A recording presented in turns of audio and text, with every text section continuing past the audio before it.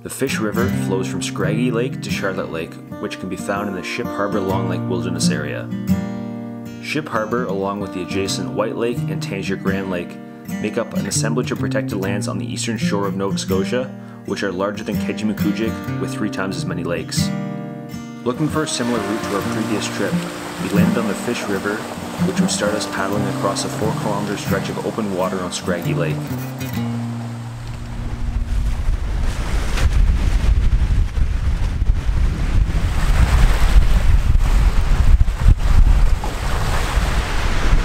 Guys got back and the wind hasn't died down, so we've been waiting to see if it gets below 70 kilometers an hour, which it is currently.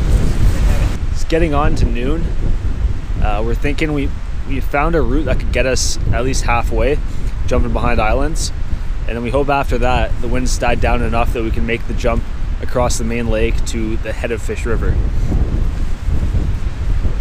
It's gonna be some fun whitewater before we even get to the river. So we made it about two kilometers until we got stuck.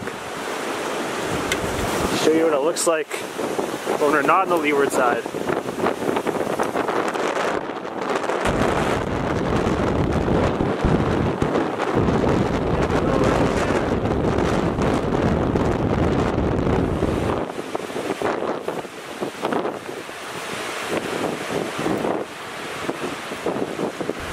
Uh, we turned the corner uh, facing directly west into the oncoming winds.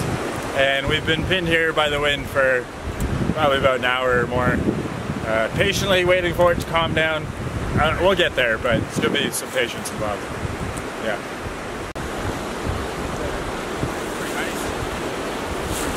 Is the wind still bad? I think it's switched I think it's moving.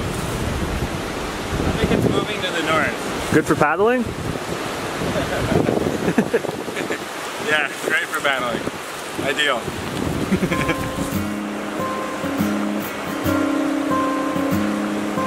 After losing more than half a day to wind, we finally made it to the head of the Fish River.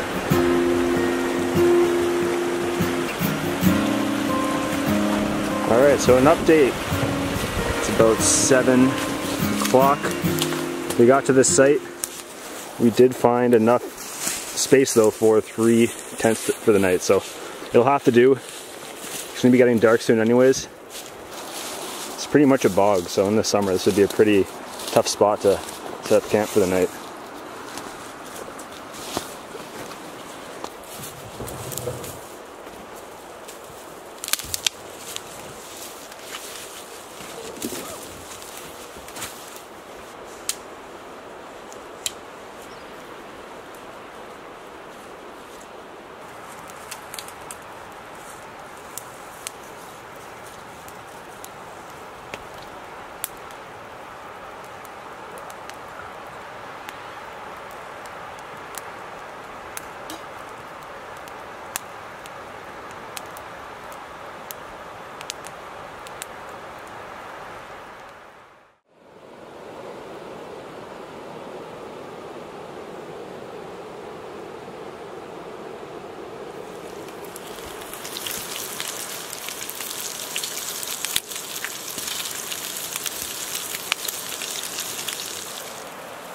So we're just packing up on camp here. Uh, we had a hearty breakfast and we have about 10 kilometers more to paddle today. It's gonna be mostly rapids, very shallow and rocky with the odd pool and still water. Should be a good day. The weather is looking great. Hopefully not as windy as yesterday. It was pretty ridiculous, but we're gonna be on a narrow river for the rest of the day. Should be a good one. Hopefully we catch some fish. Think I'm gonna push the boat off and get some casts in.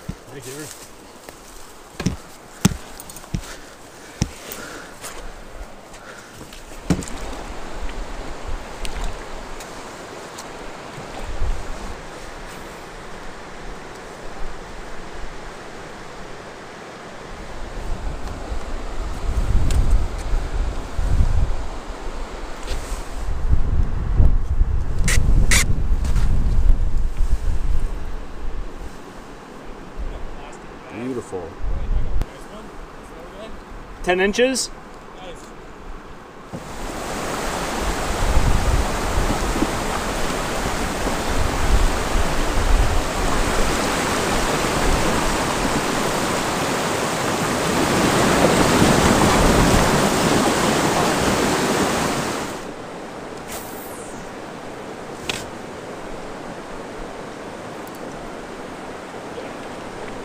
Nice fish. I just missed three here. Dave just got one too. They're all stacked up here.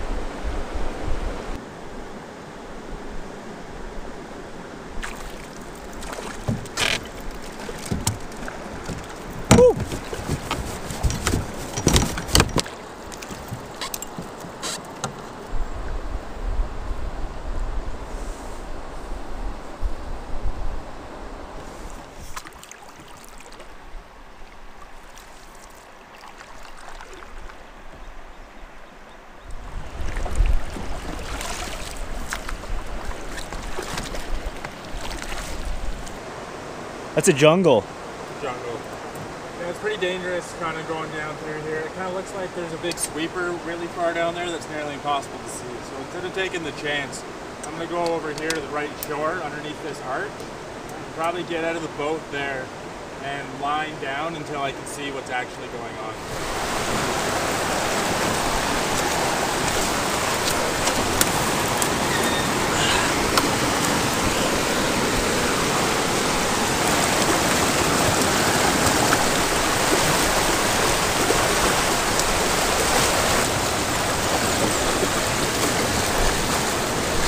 So we just had to do some lining at the end of these rapids, and this is why. A monster tree, old growth, crossing the river.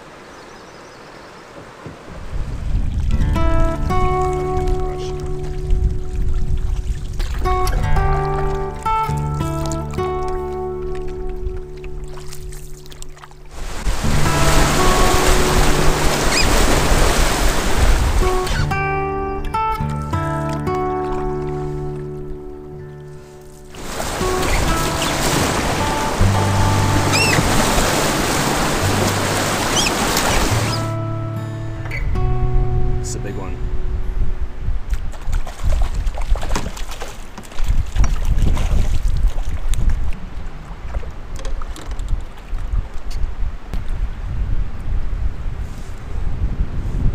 Oh, look at that. Look at that brook trout.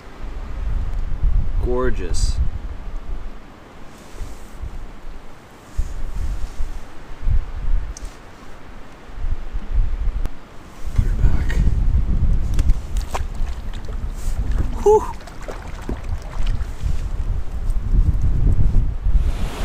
Got to a pretty big set of rapids here, and Dave's gonna run it.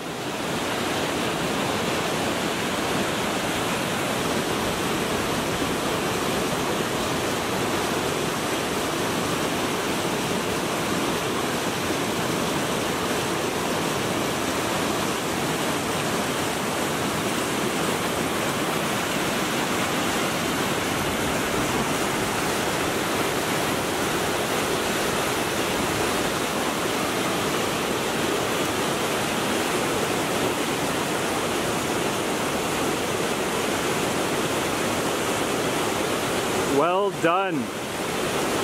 Oh my god.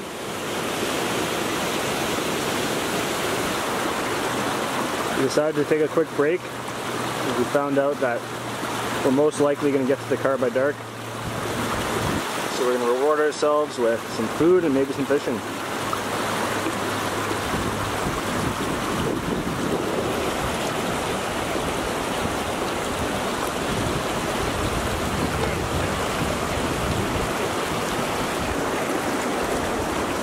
Look at the colors on her.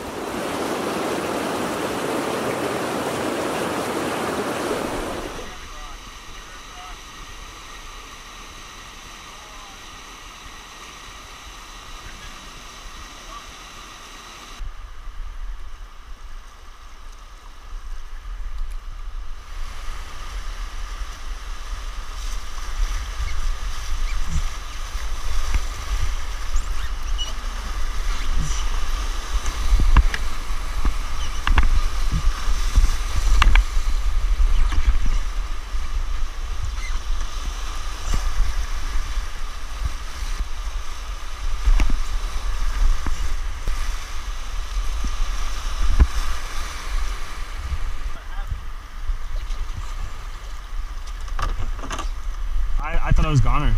I don't know how I stayed up. I like riding that like uh, turn cycle. I was sideways going like this. yeah. Nice work. Good one. Oh, I got the heart going for sure. Right? As we continued downriver, the final three kilometers consisted of fun Class 1 to Class 2 rapids.